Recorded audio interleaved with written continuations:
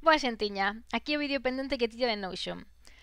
Como eu o uso para xogar a rol, ou para organizar as campañas, ou para rol en xeral. Así que, primeiro que é Notion, Notion é unha aplicación web principalmente na que podemos almacenar información sobre as nosas campañas, rol, organización, proxectos, non ten por que ser de rol, obviamente. E, bueno, ten tamén aplicación de escritorio e tamén se ten app de móvil, así que podedes acceder á información dende que irades, ainda que para xestionar a información eu sí que dende o móvil se me fai bastante incómodo e mm, tendo a empregala por web, aínda que sí que tamén eh, ten a aplicación para, para Linux de escritorio. Vale, como vedes é moi simple, a principais funcionalidades están todas gratuitas, despois sí que hai de pago pois con analíticas, eh, maior xestión de equipos, e seguridade, pero a, a gratuita é perfectamente funcional para o que nos interesa. Así que, bueno, moi por riba vou explicar algunhas xestións básicas de Notion porque hai moitísimos vídeos xa explicando como funciona. Vos deixo o vídeo que eu consultei, pero iso, que é unha chea e podedes atopar información de como empregalo. Como vedes aquí arriba, onde pon rol en xebre, pois poden desplegarse todos os espacios que eu teño eh, tamén se poden compartir con nós con outros espacios e podemos acceder a eles, vale? Aquí todos poñen un porque normalmente eu teño información de campañas que é privada non a comparto co, coa xente. É todo para mí. Así que nada, aquí teño de Tirania of Dragos, líricas de drama, todas as que teño. Agora mesmo estou dentro de Rol en Xebre, que é a que emprego para almacenar os one-shots. Vedes aquí na esquerda, digamos, as as páxinas ou os enlaces de primeiro nivel. Logo se despregamos, vemos a que vería dentro de OneShots, que son todas todas as aventuras que teño aquí almacenadas, a maioría dos OneShots que dirixín, outro que teño pendente e demais, e teño creada esta aquí para crearla simplemente puxen add a page, e xa che sae aquí o título para escribir, podedes poñerlle un emoji ou podedes, se queredes, pois engadir iconos ou aquí con custom podedes meter un enlace web e xa vos vai dende aí. Así que, bueno, pois pues esta medalla nos vale neste caso. Tamén permite poñer cover, como vedes, vale? Podedes poñerlle unha imaxe de fondo grande, aquí cambiar o nome como queirades. E se poñedes a barra, vos permite escoller que queredes, pois texto, para engadir texto escribes xa está, non foi falla darlle a barriña. Podedes crear unha páxina nova que se engadides unha arroba tamén eh, un listado, headers, entón poñe, podedes poñer varios niveis, vale? Encabezado 1 e esas cousas. Se sabedes escribir, moito mellor. Entón, nada, coa barriña podedes ir escollendo varios tipos de formatos, vale? Eu o que máis emprego probablemente sexa o toggle, porque así vexo de forma máis esquemática a estructura da sesión ou da campaña ou do que sexa, e logo xa podo entrar no detalle. Por exemplo, cazada da presa. Vale? Entón, eh, aí, pois podería engadir un erguense a tal hora. E logo dende aí, pois, a, vou engadindo paso 2, paso 3, ou os detalles da caza, ou teñen que tirar un dado de 5, o que sexa. Vedes que xa poñer un punto e xa me colleu numeración e viñetas, funciona un poquinho como os xestores de textos que estamos acostumados, vale? E se eu me confundira aquí, podo pulsar nos puntiños e tamén podo editalo, vale? E convertilo noutra cousa, pois en toggle, vale? Bueno, que era xo, xa o que era. Podo convertir outra cousa como bullet list, vale? E o que está dentro pois me mantén nun tab interior. Se quixéramos engadir aquí unha páxina máis, pois nada, arroba e me permite escoller entre as que teño, vale? Vedes por aquí pois outras páxinas podería dende aquí chamar a one shots. Vedes que cando enlaza con outra pon unha frechiña aquí pequena, vale? Se non a ten, por exemplo, nova, aquí me sae crear nova, podo crear nova aquí, se eu dan a subpage me crea aquí mesmo, sería unha filla desta páxina, e se dou a page in, podería escoller dentre as que teño en calmo engadiría, vale? Así que vou engadir aquí e como engadina aquí no mesmo sitio, pois me engade abaixo. Pero se non só me saída abaixo, se borro esta que ten a frechiña non pasa absolutamente nada. Vedes aquí que creei unha nova, e xa me sae empty page ou podo facer importación, crear táboa, o mesmo que se pulso aquí, pulso intro, e escribo table, vale? Podemos engadir táboas. Entón, nada, se volvemos atrás e a borramos dende aquí, e agora volvo o enlace no que estaba antes a páxina pois xa me sai que aborrei. Podo restaurala ou borrala para sempre.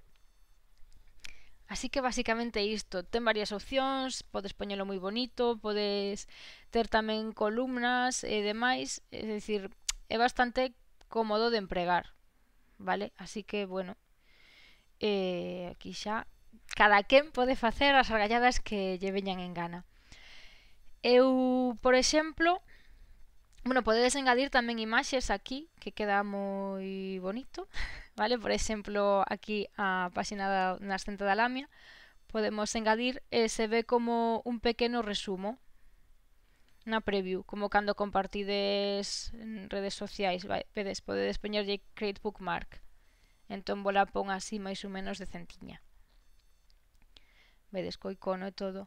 E se quero poñer unha imaxe, pois copiamos a dirección da imaxe, é o mesmo. Lle damos a pegar e xa nos sae. Se queremos incrustar ou crear tamén como bookmark. Neste caso, pois se incrustamos para que se vexa completa. Vale, a mí me vai lenta a conexión, así que vai a seu ritmo. E logo nada, podemos facela máis grande, máis pequena, e xa vedes que ten aquí a súa sección e podemos poñelas unha o carón da outra que, como vos dicía se poden poñer columnas, vale? Mm, hai bastante flexibilidade, entón por iso que vou a darvos son exemplos e xa estaría. E vou borrar isto porque non o preciso para nada. Así que fora o exemplo e imos á sección de one shots para ver, por exemplo, eu na sección de one shots teño pois un listado que tiña xa antes de Drive, cando non tiña Noisen e se organizaba así, para que a xente pudera ver que aventuras teño a disposición para dirixir e consultar. E aquí pois teño as que fun creando para dirixir.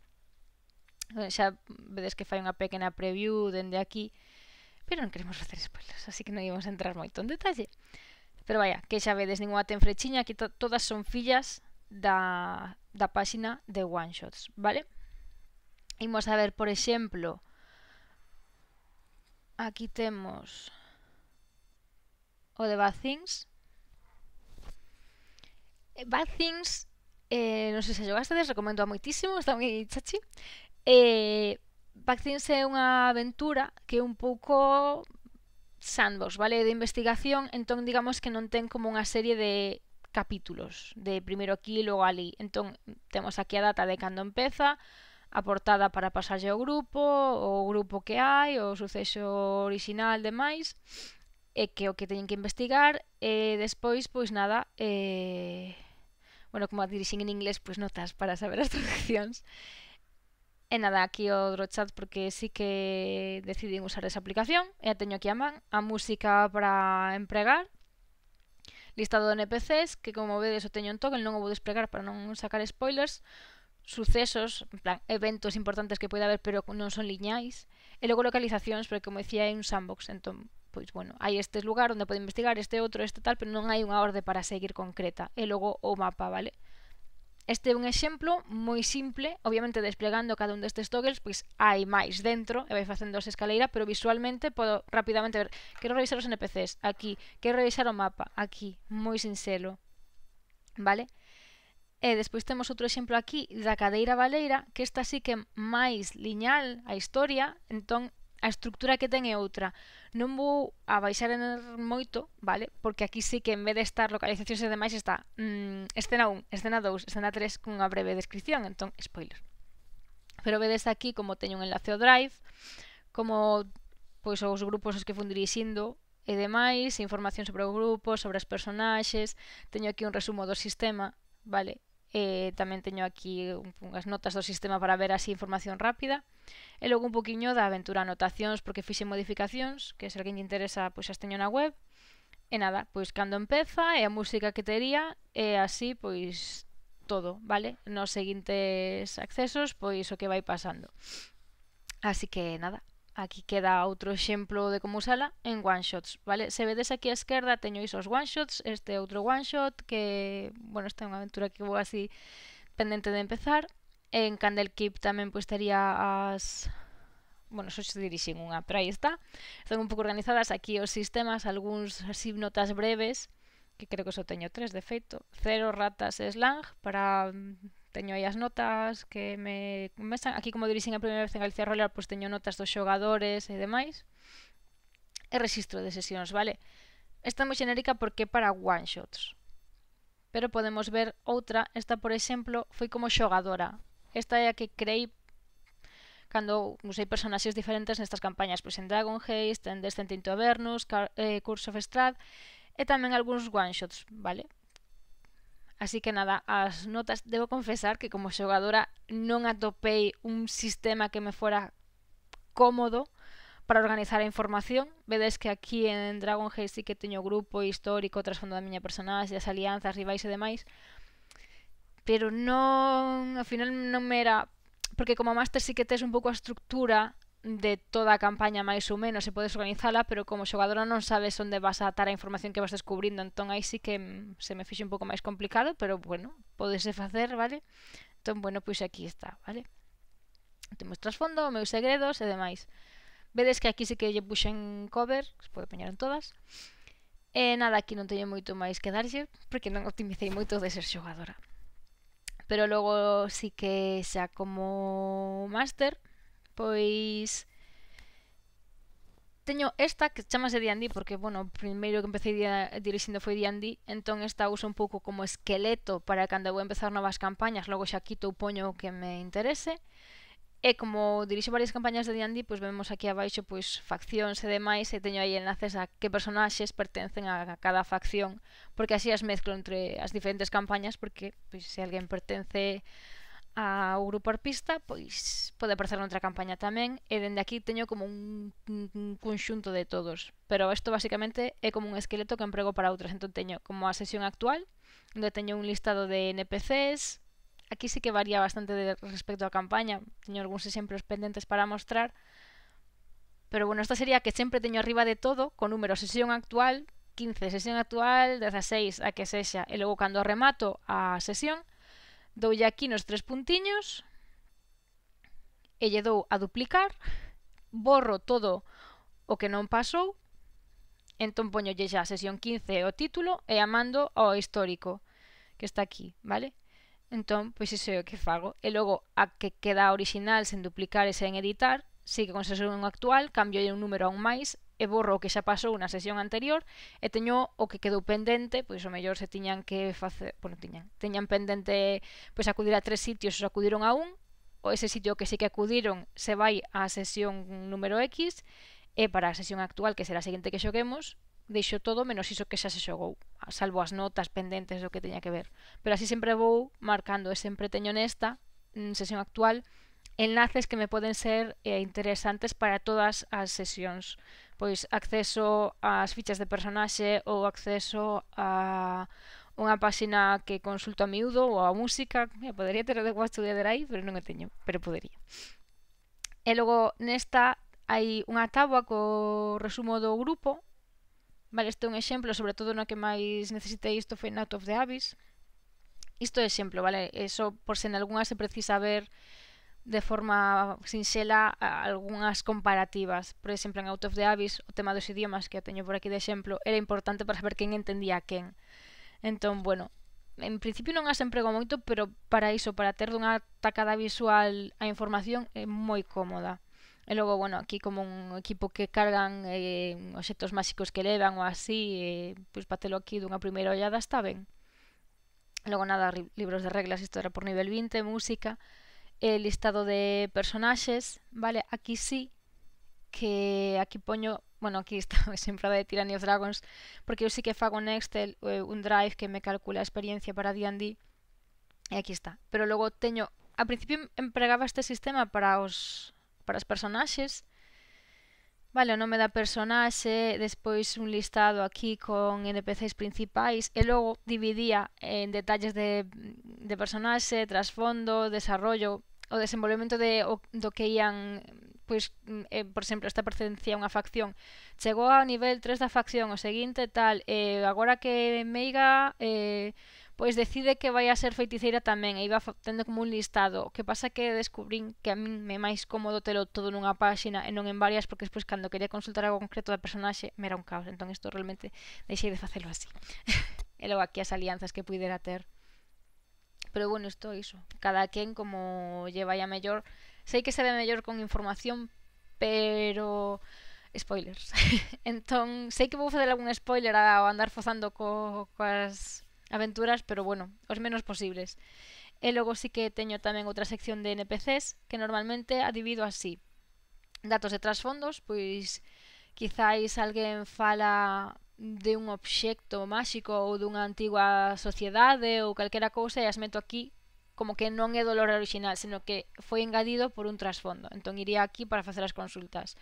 Isto sería original en, en Pisces, pois as personaxes da propia aventura as metería aquí para distinguilas das new en Pisces, que son as novas personaxes que me veñen cos trasfondos das personaxes. Pois eh, unha personaxe di que ten unha familia numerosa e 15 irmás, Pois aquí van as 15 irmás para saber que non son dolor original e non buscar información en Google nin consultar a xente porque non é algo que vou a poder topar, é algo pois que naceu da imaginación da personaxe, ou da xogadora ou de quen fora. E logo rivais en caso de que corresponda, vale? Non ten por que haber, aínda que normalmente acaban aparecendo. E bueno, podo poñelos aquí ou irían en original en ou en NPCs. Aquí sí que irían se é algo relevante, como que son un grupo, un clan ou un preciso velos por algunha razón aparte. E logo neste caso, bueno, como era de diante teño o lore de Reinos Olvidados, Faccións e demais, pero isto nas outras borrou. De feito, probablemente só teña aquí o deixen a que me interesa e logo poño enlaces a, a estas se, se corresponden. Vale, Eso é a estructura. Logo se nos imos aquí para ver personaxes xa dunha campaña de Tyranny of Dragons, por exemplo, vale, vemos aquí eh, esta está incompleta, pero bueno. As personaxes que hai, os seus nomes, a habilidade especial ou que lles gustaría ter. e un poquinho do resumo da información que teñen ou así para velo tamén todo dunha. Pero bueno, isto teño máis desactualizado que pouco. Así que nada, pero isto sí que permite ver un pouquiño. Neste caso, como acabei combinando Tyranny of Dragons en Faerun con Tyranny con, con eh, improvisada de, de Everon, unha que foi xurdindo polos trasfondos, eh, sí que fixen unha cronoloxía para comparar, vale, unha poñer un segundo porque spoilers, pero sí, basicamente fixen unha táboa cos anos o ano que sería en Torril, o ano que sería en Eberron e os eventos que coinciden nun en outro para non volverme tola e intentando que logo saber cando pasou que, que, que foi a vez. Entón, bueno, pois fixen iso. Logo temos aquí tamén o listado de NPCs, como se dixo, e aquí neste caso, pois, tamén teño a Magues de Tai, as criaturas, eh, un poquinho o culto da dragona, porque neste caso pois é o principal, E no caso de Eberron pois porque, bueno, non é do lore original de, da aventura de Tyranny of Dragons, pero como me fixo falla, pois aquí está. Vale, e non sei que máis notas tiña por aquí. Eberron. Vale, Eberron isto, vedes aquí que teño información da campaña, aquí arriba, vale, non o mostro porque ten os capítulos e demais así ordenadiños para sacalos o histórico de partidas pois, podo ensinalo. De feito, aquí, eh, como nesta sí que fixen as campañas paralelas de Eberron e de Tyranny of Dragons, lles puxen un símbolo diferente ás de Eberron e as fun cruzando un pouco, vale? Son dous grupos diferentes e non teñen moito que ver. E aquí estaría pois todo o listado das sesións. Que cando as copio, as paso aquí a que xa se xogou, e noutro vedes sesión actual 164 e a sesión última que se xogou pois 163. E así as vou actualizando e a de Everron está aí pendente de seguir dende tempos ancestrais. E, bueno, en Everron, por exemplo, sí que se pode ver un poquinho como intentei organizala. Eh, teño aquí información de Everron, máis información, algunhas dos seus rasgos como os barcos voadores, quarries, e logo as tres aventuras que xogamos ou que están pendentes de xogar. A música, tatuaxes, porque nestas sí que saíron, e ferramentas, e, extras que son pois cousiñas que se van plantexando para engadir ou cando vas lendo máis lore. Pero isto é como organicei eu. Eh, por exemplo, en ferramentas non ten moito, son as ferramentas de pois as que saen no xogo para non liarme e ver que se pode facer con cada unha e demais en extras, pois, cousiñas que foron xurdindo, vale? Houve un embarazo, pois nada, un ritual. E logo podemos ver aquí, por exemplo, unha sesión. Estas son as notas que quedaron da sesión 2 de, de Everron, vale? E nada, aquí sería o grupo que foi, cun pouco resumo aí da información os idiomas que falan como vedes eh, algo de información, a música a empregar, o combate que tiveron sobre o barco voador, e aquí despregada pois os detalles, quen estaba sobre o barco e demais. A aterrizaxe, pois, que pasa, se caen, os riscos, estas cousas, vale? Como vedes, eu sí que funciono empregando os toggles, aquí un separador, porque isto xa despois dun anac, ou como que se pecha unha escena ou algo así, pois logo avanzamos temos aquí, por exemplo, eh, de Out of the Abyss. Na Out of the Abyss, como hai períodos de viaxe, eh, piden tirar moitos dados para deixalos xa preparado a sesión anterior e non estar tirando dados e, entre comillas, perdendo tempo para min porque me gusta que sexa fluido eh, na propia sesión, pois o que fago é os deixo feitos xa. Entón, pois aquí tería para o espazo tiro un dado de 6, para a iluminación se tira un dado de 6, despois se acontecen os eventos de terra, pois teño aí o listado, os acuáticos, entón dende aquí me moi cómodo e preparar a sesión. Simplemente teño que tirar e según o que sae, pois mira, están nun pasadizo de non sei que, ou están en non sei canto, e se xurde un evento de terra, pois aquí miro cales son as opcións e información sobre a toleira, porque nesta campaña hai riscos. E, o forraxeo da supervivencia. Teño aquí todos os accesos directos para cando preparo a sesión e poder facer consultas rápidas. Vale, e aquí sí que o que comentei do grupo que só está aquí, creo. Porque o, o metín dentro da sesión porque se me deu por aí. E aquí sí que se pode ver como era preciso polo tema do idiomas e tamén manter unha información sobre o nivel de toleira que mantén cada personaxe por se lles volve a caer outra, pois... Ja. ter en conta o nivel no que ían. E aquí, por exemplo, en Líricas de Drama, que é unha campaña completamente caseira, Esta sería a sesión cero, vale? Na sesión na que falamos de como funciona, pois, xogaríamos este día a semana, a frecuencia, pois, dúas veces ao mes, ao final, el, polo menos o primeiro arco foi toda seguida, pero bueno, no inicio era que fora cada dúas semanas, a duración estimada que eran dúas cinco, mmm, fatal, foron máis de 20, E logo nada información, todo sesión piloto, a buscar o título, no que estaba baseada, e os enlaces que lles fun compartindo, a, o listado de, de xogadores, e aí, dentro de xogadores, pois un poquinho de información, eh, por exemplo, como nesta sexualidade lle se fun preguntando ata que punto estarían cómodos, non eh, os detalles de que temas non tocar, de medos e demais, pois os teño tamén engadidos en a súa ficha para revisar ou consultar se fixera falla. Eh, se vedes aquí, neste momento esta campaña eh, iba a ter o arco introductorio, que foi o que se xogamos, o arco 2 que está aquí pendente, e logo un entrearcos no que pasan, neste caso, 10 anos. Entón, agora mesmo estou cos entrearcos organizándoos, entón non vou entrar, E vedes aquí a sesión 1 por 27 porque foi a última que xogamos, pero xa tocaría a, no arco 2. Entón, bueno, aquí vedes que hai menos que nas de D&D, hai as personaxes, o histórico de sesións tamén, e no que se poden ver pois tamén as sesións que fomos xogando. A cronoloxía que aquí como era caseira e había pois tamén era bastante longa a cronoloxía e era moi importante as tramas que tampouco vou entrar, as localizacións que se foron creando e o sistema e de fragmentos, as notas, porque sí que fui modificando, porque nesto non é unha campaña de terror, pero quería usar un sistema sinxelo, e probamos con ese. Entón, bueno, este é un exemplo de, de obsesión organizativa, xa vedes que o fondo pon acordos, liñas e velos, ambientación, temática, todo o que iba a preguntar durante esa sesión para poder organizala ben e ter en conta pois as necesidades de cada xogador e xogadora. E logo temos aquí o exemplo da sesión 0, que realmente é sesión 1 porque isto xa foi xogando.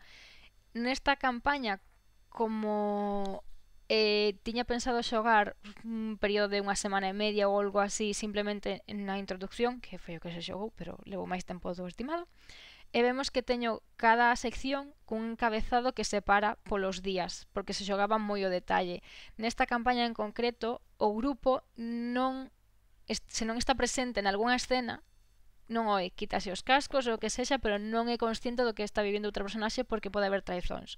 Entón, eh, tiña que organizar máis ou menos as escenas para que non estivera pois unha xogadora sen xogar as, non sei, dúas horas ou algo así. Entón, Como vedes, aquí empezan xogando Angie, Tiago e Ale, e logo xa inmediatamente Anaís, que non estivo xogando neste anaco. É imposible que xestione perfectamente os tempos como para que todo o mundo xogue o mesmo, pero bueno, intentalo, intentar ter un pouco de orde as escenas que pasan á vez. Entón, bueno, fixeno así, vale? Con cores e demais para distinguir as personaxes, cando se xuntan, cando non, e ir máis ou menos pois vendo un pouco. Vedes que aquí hai unha trama que Victoria volta a casa e as fun engadindo así para telo todo moi accesible. Nesta uso menos os toggles porque nesta me era máis necesario ver os días que pasaba cada día os bloques porque o mellor se ao final non pasaba isto aquí e eu tiña que desplazar abaixo precisaba velo ao final é un pouco cada campaña que che vaya pedindo e cada sesión neste caso como sea unha sesión xogada non teño aquí as notas do que normalmente teño a man pero sí que o teño aquí no exemplo do arco 2. Este sería como a plantilla do que será a primeira sesión do arco 2 cando chegue a tela revisada, pero se vedes está aquí pois a sesión actual as notas con resumos, ou aquí se necesitaba pois que apareceran NPCs de pronto, como eu sí que normalmente dou imaxes, porque para min é spoiler se aparece un NPC destes que tes que improvisar en non das imaxe, é como que, ah, este está improvisado, non é importante para a historia, que logo pode selo, pero se nota porque non tes imaxe. Entón, teño aquí un acceso para acceder rápido ás imaxes ou o que sexa, ou o que poida precisar, e así lles paso a imaxe tamén, e aquí non sospeita ninguén nada. E logo nada, un resumo, que nesta sí que como nos fomos a 2003, pois tiña o calendario de 2003 e os sucesos como esperaba que aconteceran. Isto foi eh, unha táboa do principio que de mm, pouco actualizada de como agardaba que foran os sucesos, vale? Despois, pois, non foron exactamente así, e isto faltalle moita información. Pero bueno, era un pouco para botar un ollo de se están neste día, e se este este día, cando era o cumpleanos de non sei quen, e te lo llaman. E logo isto simplemente para copiar e pegar as nomes coas cores.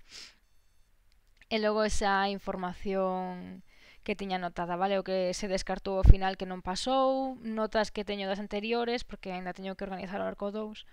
E bueno, algo de información que hai aquí, vale? E... E bueno, pois... Creo que non vos está saindo exactamente todo o que eu vexo, pero da igual. Vale, aquí están os nomes das personaxes para copiar e pegar. E logo temos por aquí as personaxes, vale? Neste caso, eh, son todo personaxes orixinais, así que non fixen división de original e new, porque son todo new. Teño aquí un enlace, aquí tiven que facer un esquema de diagramas con as relacións, porque era moi do caos. Entón teño aí o enlace o esquema, NPCs extra, os totais, vale, para ter un pouco en conta a distribución de xéneros, porque eh, a final a tendencia se non... Normalmente sí que tiro un dado para escoller, pero mellor se tes que improvisar no momento pois non che dá tempo ou quería saber un pouco tamén como estaba a distribución inicial. A tendencia normalmente que haxa máis homes. En na original só partindo dos trasfondos do grupo había moitísimos máis homes. Entón, eh, o que fui engadindo normalmente eran máis mulleres eh, ca homes no resto de NPCs que se iban engadindo. Vedes que agora máis ou menos pois hai 39 mulleres, 41 homes e unha persoa non binaria. Haberá máis, pero bueno, de momento no arco 1 foi así. Eh, aquí xa se ve pois coa xogadora Zupe, pois eh, apareceron sete mulleres, 4 homes e aquí o listado das personaxes. E logo nada, ao final están as que fui engadindo eu, pero xa se spoiler. Entón aquí está a, a información un pouco, pois iso, do listado de personaxes que se foron engadindo. Temos aquí outro tipo de campaña, que esta é Strixhaven. Esta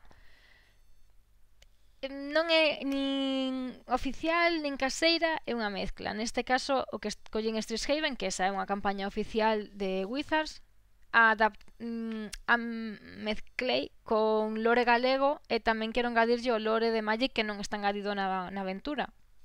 Entón, bueno, se vos fixades aquí arriba, onde pon Xared, Strixhaven esa parte, ese anaco dai, o teño compartido coa miña irmá porque controla algo de mitoloxía galega, entón lle pregunto, entón lle dei acceso para que poida consultar.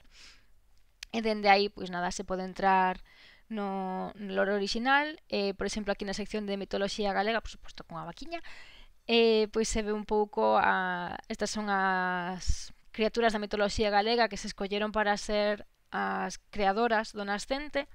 Tería aquí os resumos outras criaturas que poden aparecer, agrupacións e demais. Está pois por aquí un poquiño todo engadido. Entón, bueno eh, dende aquí organizo esta información que sería fora do lore original da campaña e teño información toda que podo engadir. Vedes que ao final son todo páxinas e despois en cada páxina pois a cada quen vai recollendo a información que lle pareza máis interesante. Este exemplo da sesión 0 de, de Strixhaven expl para explicarlles pois o non vou chapar o cuestionario de trasfondo, que decir que non me coñezo o lore de Magic mm, sí que un par das xogadoras sí que o coñecen bastante, era como non vai ser accurate, vale? Non vai ser preciso, non vou a facelo mm, perfecto porque eu non me coñezo o lore, entón que tiveran en conta as expectativas. E nada, a lista das personaxes que lles tiña que explicar sobre nivel 20, que íbamos a gravar, como se iba a proceder e demais, entón estaba todo aquí anotado na sesión 0. Vale, simplemente son exemplos. E eh, logo, por exemplo, as materias do curso, eh, como nesta sí que hai moitísimas clases e demais, pois teño unha táboa, que se son obrigatorias, que se son opcionais, que se son propostas, eh, e aquí están as asignaturas e eh, o nivel do curso. Se vos fixades nesta campaña, como hai cinco escolas diferentes, eh, nas imaxes de cada unha da, do nome das asignaturas lle puxen un emoji que se corresponde con cada unha das escolas para diferenciarlo fácil. Fixen o mesmo co, co estudiantado para saber de, de que escola son ou que sexa e verlo máis rápido porque senón, pois, isto pode ser Chaos and distraction e non queremos iso. E, por exemplo, por ver, esta é unha das materias que non é spoiler, porque esta é unha das que engadiron como propostas, foi idea dunha xogadora, e foi unha das que saiu aprobada. Pois aquí vemos que puxen en que centros imparte serían Prismari, que a Escola da Meiga, a aula na que se impartiría, o docente que vai levala, a descripción da materia, vale un pequeno resumo, o listado de estudantes que están metidos nesta materia, se vos fixades aquí é unha chea. Pois o que me gusta a min de Notion é que se vos fixades aquí, debaixo de outras nadas hai backlinks. Aquí pode verse en todo o listado onde se chama a esta materia, a esta materia, a este estudante, o que sexa. Entón, ah, bueno, aquí pon private porque esta teño compartida e outra non. Normalmente non teño nada compartido, entón non mo indica. Pero, por exemplo, imaginadevos que engadides un NPC na sesión 15 e estades na sesión 50. Este NPC que volveu a sair agora, sair outra vez dunha sesión, non me acordo que pasara, non me acordo nin que sesión fora. Entón, simplemente entras dentro do NPC, lle das a backlinks e che pon sesión 15 e vas directamente, clicas na sesión 15 porque dende aquí clicando vas directamente á páxina, ves, por exemplo, pois na sesión 2 falouse desta porque foi cando se propuxo. Entrarías aí, che levaría exactamente á sección onde se cita, a, o que sei, neste, caso, neste caso a materia, nese outro caso a NPC, E xa verías ali, ah, mira, pois o que pasou foi que fixeron un trato conforme se lles daban 15 pezas de ouro quedarían na acorde de que cando se volveran a toparse axudarían mutuamente pois aí o terías a man super cómodo e a mí iso é o que me salva moitas veces. E logo nada, ter aquí un pouquiño das anotacións e eh, demais. E creo que xa vos din a prasa bastante. Así que nada, varios exemplos de como se poden organizar as campañas con isto, vedes que ao final cada campaña é un pouco única, cada máster, cada forma de organizarse, pero bueno, aquí hai algúns exemplos, a ver se vos axudan. E eh, nada, calquera cousiña podedes preguntarme, non son experta en Notion, eu fui mirando as anotacións e logo adaptando un pouco o que precisaba, pero eu encantada de axudar e xa sabedes, aquí estou para calquera cousiña. Así que nada, disfrutade moito das trasnadas en rol. Veña, sorte cos dados.